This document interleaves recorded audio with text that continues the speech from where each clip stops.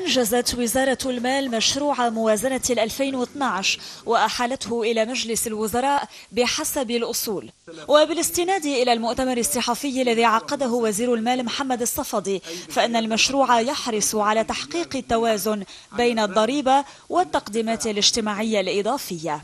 كذلك يحقق مشروع الموازنة زيادة الإيرادات إلى الناتج المحلي من 21.3% إلى 22.7% بعد سنتين من الانخفاضات المتتالية وتم ذلك عبر زيادة نسبة الضريبة على القيمة المضافة من 10 إلى 12% وإدخال رسم على المبيعات العقارية بنسبة 3% تمهيدا لإدخال الضريبة على الأرباح الرأسمالية وزيادة ضريبة الفوائد من 5 إلى 8% وغيرها من الإجراءات. وإذ كشف أن المؤشرات الأساسية لموازنة 2012 هي كلها إلى تحسن مقارنة مع 2011 أكد الصفدي أن الموازنة تضاعف النفقات الاستثمارية قياسا بال 2011 وبما أن الإنفاق المطلوب يفوق ما هو مرصود ستعمل الحكومة على تأمين تمويل إضافي من الدول والصناديق ومن القطاع الخاص.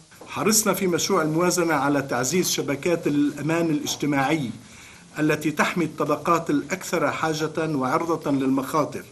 وتلحظ الموازنة زيادة في كل أطر شبكات الأمان الاجتماعية إذ تؤمن مبلغ 300 مليار ليرة كخطوة أولى لتغطية صحية شاملة متاحة لجميع اللبنانيين. كما تؤمن الموازنة متأخرات الضمان الصحي الاختياري وتسديد الاستحقاق العائد لصندوق الضمان الاجتماعي عن متأخرات الدولة للضمان الإلزامي والمتأخرات المستحقة للمستشفيات والمقاولين والاستملاكات. وتعمل الحكومة على إنجاز مشروع استهداف الفقر لتتمكن من حماية الطبقات المحتاجة كما تتابع تمويل مشاريع إصلاح قطاع التربية.